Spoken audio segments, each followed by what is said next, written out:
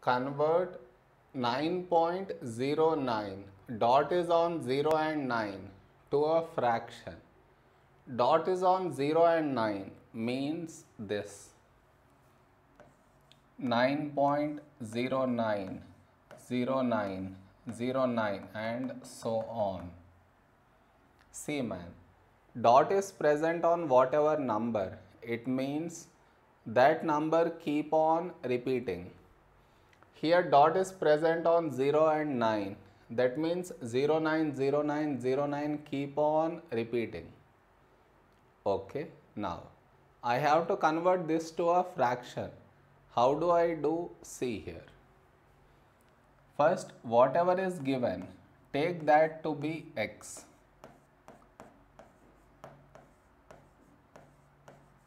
And so on. Okay, now. Now you check how many numbers are being repeated in this sum. 0 and 9, 0 and 9, 0 and 9 are kept on repeating. That means two numbers are being repeated. So whenever two numbers are being repeated, multiply with 100 on both sides. Okay, see man. Whenever two numbers being repeated, multiply with 100. Had it been three numbers being repeated, multiply with 1000. Had it been one number being repeated, multiply with 10. It is a rule. Okay, next. x into 100 is 100x equal to.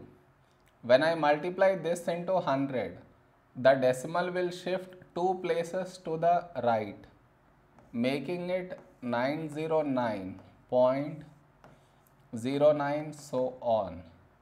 Now I write this here x equal to 9.09 so on. Okay. Now you should subtract these two. Subtract.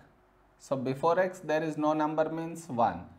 So 100x minus 1x is 99x. And here, see man, when you subtract this becomes 0, which we do not need to write. Okay, now 9 minus 9, 0, 0, 9. So now to get x, I should remove this 99. So to remove 99, divide by 99 on both sides. So this cancel out. X equal to 900 by 99. If I cancel in 9 table, 100 by 11. Okay, now earlier we have taken this for x. Now we got x equal to 100 by 11. That means only one thing that is these two are equal. So this equal to 100 by 11. Thus I have converted a recurring decimal into a fraction and this is our answer. Okay now if you wish to confirm your answer place this in the calculator you should get this decimal. If you get this then only your fraction is correct otherwise not. Am I clear?